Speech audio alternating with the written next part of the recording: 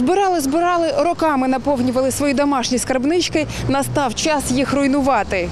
Від дрібних монет треба скоріше позбавлятися, вирішили у сім'ї Волкових. Вважають, ті можуть незабаром зовсім вийти з обігу. Як би не було, шкода. Семирічна Люба все ж таки розбила улюблену скарбничку.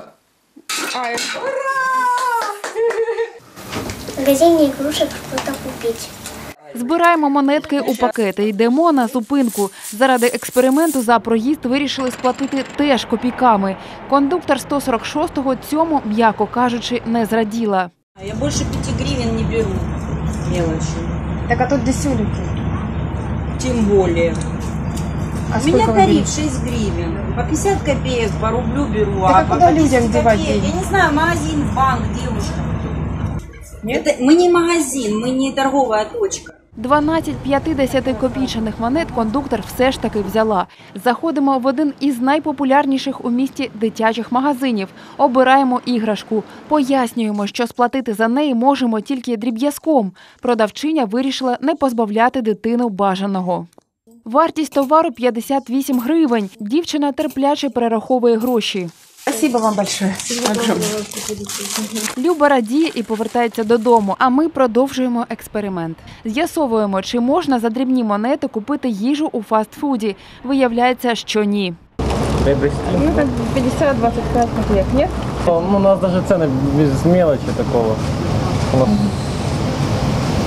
И ничего, ничего с не даже. Пропонують обміняти монети в магазині поруч чи у банку. Але у відділенні одного з найвідоміших українських банків приймати монети відмовилися. Їх колеги поруч теж. Державний банк погодився тільки за окремих умов.